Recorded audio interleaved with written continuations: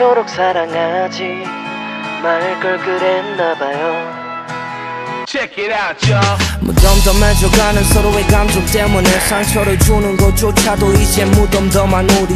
이미 사랑은 떠났고 정밖에 남지가 않아서 그냥 그런가 하고 뜨뜻미 지근해졌지 관심은 집착이 되어버리고 의심 난 모르게 해줘요.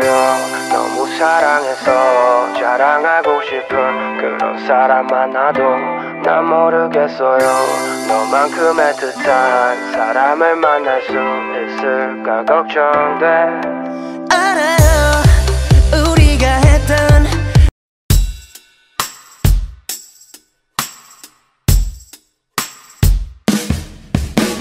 살아가는 널 만나 많은 기억을 남기고 가까워질수록 샘나오는 내 진심을 삼키고